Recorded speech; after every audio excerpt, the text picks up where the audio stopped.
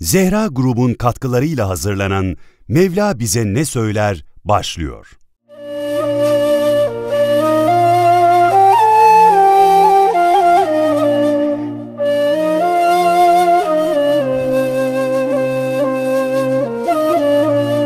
Pek kıymetli May Mecra dostlarımız, inşallah bugün yeni bir sureyle yeniden baş başayız. Bugün Kevser suresinde Mevla bize ne söyler? Bunun üzerinde birlikte düşüneceğiz, birlikte konuşacağız. Tabi daha önceki programlarımızda da bahsetmiştik. Mekkeli müşriklerin Peygamber sallallahu aleyhi ve sellem Efendimiz'e bakış açılarını, Efendimizin ben Allah'ın elçisiyim deyip onları uyardığında putlara tapmaktan onları nehyedip tevhide davet ettiğinde, onların peygamberimizle nasıl hasımlaştıklarını, peygamberimizi tahkir ve tezif etmek için nasıl bir çabanın içerisine girdiklerini ve Efendimiz sallallahu aleyhi ve sellemi ve ashabını aşağılamak için hiçbir vesileyi kaçırmadıklarını açık bir şekilde önceki programlarımızda ifade etmiştik. Aslında bu surede, bu surenin inişi de Peygamber Efendimizle müşrikler arasındaki bu ilişkinin e, bir sonucu o, o ilişkiyle ilgili olarak yani müşriklerin Peygamber Efendimizle ilgili o olumsuz propagandalarına bir cevap niteliği taşıyor. Peygamber Efendimizin erkek çocukları uzun süre yaşamadı. Müşrikler erkek çocuklara önem verdikleri için, kız çocuklarını diri diri toprağa gömdükleri için onlardan birisine senin bir kız çocuğun olmuş dendiğinde, doğum yapmakta olan hanımından böyle bir haber geldiğinde Kur'an'ın ifadesiyle yüzleri simsiyah kesildiği için Peygamber Efendimizin pek çok hikmetten dolayı belki erkek çocuğu olmadığı için, olanlar uzun yaşamadığı için Peygamber Efendimiz'e ebter dediler. Soyu kesik dediler. Ve Allah Celle ve Ala Hazretleri Peygamber Efendimizin gönlüne teselli vermek için, müşriklerin bu ithamlarından onu teskiye etmek için ona bu sureyi indirdi. Peygamber Efendimizin kalp asayişine Allah Celle ve Ala Hazretleri önem veriyor. Onun için Kur'an'a baktığımızda pek çok sure, pek çok ayet Peygamber Efendimizin gönlündeki hüznü izale etmek için, Efendimizin kalbine teselli vermek için iniyor. İşte bu surede bu bağlamda inen Peygamber Efendimiz'e Allah'ın verdiği ayetleri hatırlatan bir sure. Allah buyuruyor ki Bismillahirrahmanirrahim. İnna a'taynakel kevser. Biz sana Kevser'i verdik. Kevser'in bir geniş bir de dar anlamı var. Yani müşrikler Peygamber Efendimizin erkek çocukları uzun süre yaşamıyor diye peygamberimizi bir mahrumiyet içerisinde imaje etmeye çalışırken Allah buyuruyor ki biz sana Kevser'i verdik. Kevser'in bir geniş anlamı var. Geniş anlamıyla Kevser Allah'ın peygamber sallallahu aleyhi ve sellem Efendimiz'e onun nübüvvet davasını desteklemek üzere lütfettiği bütün nimetlerin tamamını ifade ediyor. Allah peygamberimize ne verdi? O Kevser'in içerisinde bunu düşündüğümüzde. Çünkü Kevser kelimesi kesretten geliyor ve çokluğu ifade ediyor. Biz sana o kadar çok nimet verdik ki geniş anlamıyla Kevser peygamber efendimize verilen bu nimetleri ifade ediyor. Allah peygamberimize son ilahi kelamı verdi, Kur'an'ı verdi. İnsanlar için bir hakikat rehberi, bir şifa olan Kur'an'ı verdi. Sonra Allah peygamberimize fidake ebi ve ummi ya Resulallah anam babam sana feda olsun diyen bir nesil lütfetti. Ashab-ı kiramı lütfetti. Sonra Peygamber Efendimiz'e peygamberlerin sonuncusu olma nimetini bahşetti. Peygamber Efendimiz Hatemun Nebiyyindir. Nebilerin sonuncusudur. Peygamberlerin en eftalidir. Seyyidul Murselindir. Allah Peygamber Efendimiz'e İsra ve Miracı verdi. Hiçbir peygambere lütfetmediği çok özel, çok müstesna nimetler lütfetti. Allah Peygamber Efendimiz'e şefaati uzmayı, makamı Mahmud'u lütfetti. Bir ayette buyuruyor ki ve minel leyli feteheccet bihi nafileten lek gecenin bir kısmında nafile olarak kalk ve teheccüd namazı kıl. Ase en yeb'aseke rabbuke makamen mahmude. Umulur ki Rabbin seni makamı Mahmud'a ulaştırır. Bu makamı Mahmud nedir diye sorulduğunda Peygamber Efendimiz onun bana verilecek olan şefaat yetkisi olmasını ümit ediyorum. Efendimiz böyle buyuruyor. Dolayısıyla bu Kevser ifadesi müşrikler Peygamber Efendimiz'e erkek çocukları yaşamıyor diye itham edip üzmeye çalıştıklarında Allah Peygamberimizi teselli için diyor ki biz sana Kevser'i verdik. Şu nimetleri bir hatırla. Allah'ın sana lütfettiği nimetleri hatırla. İnşirah suresinde Allah buyuruyor ki Elem neşrah leke sadrak biz senin göğsünü açmadık mı? Ve vada'ne anke vizrakellezi ankada zahrak senin sırtına, omuzlarına yük olan yükten, omuzlarına binmiş yükten seni kurtarmadık mı? Ve sonrasında verafane leke zikrak senin şanını yüceltmedik mi? Gerçekten Efendimizin vefatından itibaren gerek namaz ibadetinde, Peygamber Efendimizin tahiyyatla birlikte müminler tarafından anılması, gerekse o günden itibaren ezanın teşri tarihinden itibaren e, Allah'ın kendi ismi şerifiyle birlikte Peygamber Efendimizin adını alemlere ilan etmesi, Allah'ın Peygamber Efendimiz'e lütfettiği Kevser'in içerisinde olan nimetlerdir. Bir de Kevser'in dar bir anlamı vardır. Peygamber Efendimiz buyurmuştur ki bir hadiste, kıyamet günü insanlar susayacaklar. Kıyamet ortamının yapısından, şartlarından dolayı Allah bana kıyamet günü bir havuz verecek. Bunun adı Kevser'dir buyurmuş Peygamber Efendimiz.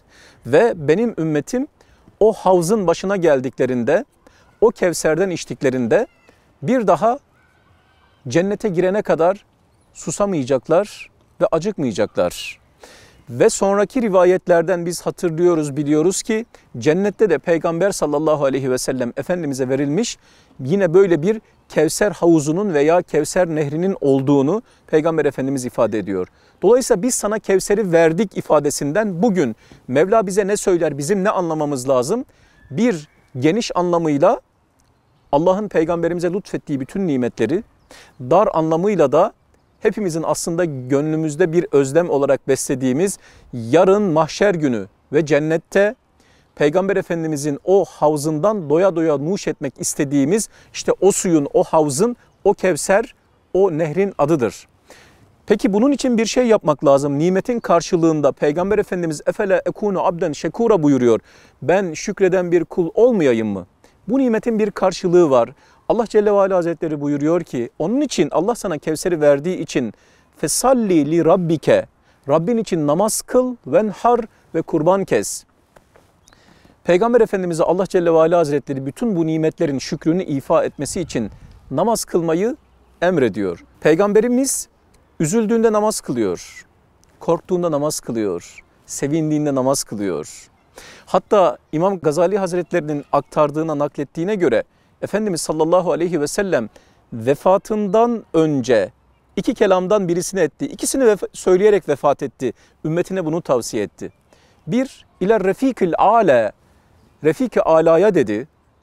Bir de en yüce dosta, yani vefat ettiğinde gittiği yeri, gideceği, kimin yanına gideceğini, huzuru Rabbil alemine gideceğini ifade etti Peygamber Efendimiz.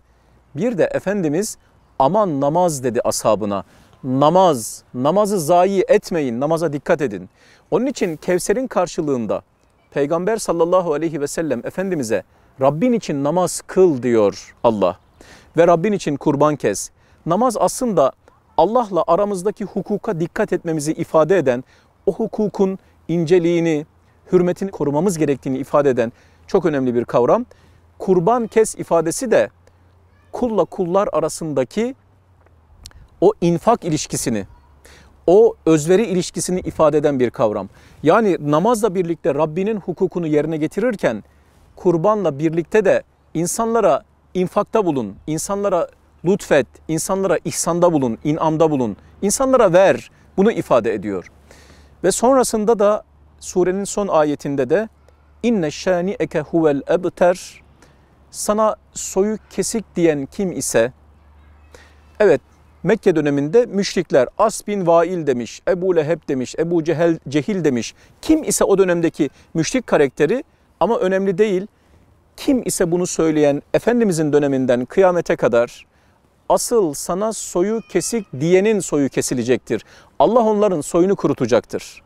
Ve bu bugün Efendimizin döneminde belki surenin inmesine sebep olan müşriklerden birisi olan As bin Vail özelinde ama bugün kıyamete kadar Peygamber Efendimizin şahsı manevisiyle dalaşan, onunla didişen, ona sataşan ne kadar müşrik var ise bunların hepsini içerisine alan bir kavramdır. Yani Peygamber Efendimiz'e soyu kesik diyenlerin soyları kurumuştur. Nerede bugün Ebu Cehiller? Nerede bugün Ebu Lehebler? Nerede bugün onların soyları, onların takipçileri? Ama Arif Nihat Asya merhumun ifade ettiği gibi her ne kadar diller, sayfalar, satırlar Ebu Leheb öldü deseler de Ebu Cehil kıtalar dolaşıyor. Bugün Charlie Hebdo dergisinin Peygamber Efendimiz sallallahu aleyhi ve sellemin peygamberlik şahsiyetini alaşağı etmek için çizdiği karikatürler de aslında Efendimizin hürmetine bir dalaşmadır, ona bir sataşmadır. Göreceğiz, tarih bunu gösterecek. Onlar da tarihin karanlık sayfaları içerisinde Allah tarafından mahvu perişan edilecek ve unutulup gidecekler. Bu Allah'ın bir vaadidir. Allah kitabı kadimini koruduğu gibi, Kur'an'ı koruduğu gibi Peygamber Efendimizin hatırasını da koruyacaktır. Ezan bunun şahididir. Namazda yaptığımız tahiyyat bunun şahididir. Bugün bir kitle halinde insanların, müminlerin Efendimiz sallallahu aleyhi ve selleme duydukları muhabbet bunun şahididir. Peki Kevser bize ne söyler? Bu kadar nimetin kendisine lütfedildiği bir peygamber, Allah Resulü sallallahu aleyhi ve selleme ümmet olmanın bir mesuliyeti vardır, bir sorumluluğu vardır. Madem ki bu kadar büyük nimetleri lütfettim ben sana, namaz kıl, kurban kes, istikamet üzere ol diyor Peygamber Efendimiz'e. O halde bizim Peygamber Efendimiz'e ümmet olmamız nimetinin de, bu çok büyük bir nimet, çok büyük bir devlet, bunu ifa etmemiz için de aynı cümleler bize söylenmiş. Namazı asla bırakmamak, kurbanı kesmek, fedakarlığı bırakmamak, sevdiklerimizden infak edene kadar iyiliğe ulaşamayacağımızın farkında olmak. Bir de beni çok etkiler. Peygamberimiz bir defasında şöyle buyurdu. Benim evimle minberimin arası cennet bahçelerinden bir bahçedir. Böyle buyurdu Peygamberimiz. Ravdatun mir riyadıl cenne. Cennet ravzalarından bir ravzadır. Onun için Ravza-i Mutahhara deriz. Yani Ravza-i Mutahhara demek tertemiz olan cennet demek. Şimdi Efendimizin mescidine gittiğimiz zaman o yer belirlidir, çevrilmiştir. Oraya özel olarak girilebilir, girilir. E, izdihamlı bir yerdir. Orada namaz kılmak cennet bahçelerinden bir bahçede namaz kılmaya eştir, bedeldir. O hadisin devamında da Peygamberimiz buyuruyor ki benim minberim de havzımın üzerindedir. Bu ifadesi Peygamberimizin bana şunu hatırlatır. Ne demek? Benim minberim havzımın üzerindedir. Benim havza ulaşmak gibi bir maksadım var. Yani Peygamber Efendimiz e, o havuzdan içenlerin kıyamet günü susamayacaklarını, cennete girene kadar acıkmayacaklarını ifade ediyor. Benim o havuzdan içmek gibi bir amacım var. Peki bunu nasıl yapacağım? Peygamber Efendimizin havzının üzerinde bulunan minberin simgelediği o hakikate ermem lazım. Peygamberimizin havzın üzerindeki minberi peygamberimizin sünnetini simgeliyor. Onun sünneti üzere olmadan, Kur'an'a uymadan, sünnete ittiba etmeden bir Müslümanın, bir müminin yolunun havza düşmesinin, havzı kevsere ulaşmasının, Hz. Peygamber'in ilgisine, alakasına, şefaatine mazhar olmasının imkanı söz konusu değil. Nereden mi biliyoruz? Peygamberimiz buyuruyor ki kıyamet koptuğunda ben havzımın başında sizi bekleyeceğim. Hatta ashab-ı kiram soruyorlar nasıl tanıyacaksın o kadar izdamın içerisinde bizi? Peygamberimiz buyuruyor ki simsiyah atların bulunduğu bir ortam düşünün. Alınları ve ayakları beyaz atlar olsa o simsiyah atların içerisinde sahipleri o atları tanımaz mı? Tanır. İşte ben de sizi elinizdeki ve yüzünüzdeki abdest nurundan tanıyacağım. Efendimiz böyle buyuruyor. Abdest nurundan tanıyacak. Fesalli li rabbike. Rabbin için namaz kıl oradan tanıyacak. Fakat buyuruyor ki Peygamberimiz o izdiham içerisinde mahşer ortamında insanlar çok susayacakmış. Biz bunu peygamberimizin verdiği haberlerden anlıyoruz, biliyoruz. Ve o içleri yanmış insanlar havza doğru koşturacaklarmış su içmek için. Melekler onları engelleyecekmiş. Efendimiz buyuracakmış ki la temna'uhu fe innehu min ummeti. Engellemeyin, uzaklaştırmayın. O benim ümmetimden diyecekmiş. Melekler de şunu söyleyeceklermiş. Ya Resulallah sen onun senden sonra ne yaptığını bilmiyorsun. O Kur'an'ı terk etti ve tehazel Kur'ane mehçura. Kur'an'dan hicret etti. Senin istikametinden kaydı, caydı, sünnetini terk etti. O halde her kim ki şu çağda yani Kevser suresi bize ne söyler? Kevser suresiyle Mevla bize ne söyler?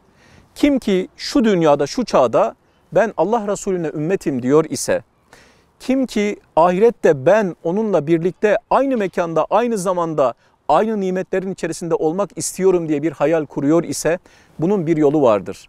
Peygamber sallallahu aleyhi ve sellem Efendimizin sünnetine uymak, Kur'an'a ittiba etmek, Kur'an'a bağlanmak.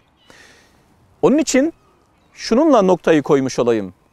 Peygamberimiz veda haccında buyurdu ki size iki şey bırakıyorum. Cadde-i Kübra gibi bembeyaz aydınlık bir yol, eğrisi olmayan, defosu olmayan, batılı olmayan bir yol. Size Kur'an'ı ve sünneti bırakıyorum. Onlara sımsıkı uyduğunuz müddetçe şaşmayacaksınız. Şeytan sizi saptıramayacak. Hatta Efendimiz buyuruyor ki elleriniz kifayet etmezse azı dişlerinizle sımsıkı sarılın Kur'an'a ve benim sünnetime. Onun için Kevser peygamberimize verilen bütün nimetler en geniş anlamıyla, dar anlamıyla da Efendimiz'e mahşer yerinde ve cennette lütfedilen havuzun adıdır. Allah bizi önce onun sünnetine uymak, sonra da peygamberimize lütfedilen bu nimetten istifade etmek şerefine nail eylesin. Sünnet, sünnet peygamberimizin minberi madem ki havuz minberin altındadır. Efendimizin sünneti Kur'an'ın hayata uzattığı koldur. Efendimizin sünneti bizi havza, cennete ulaştıran yoldur.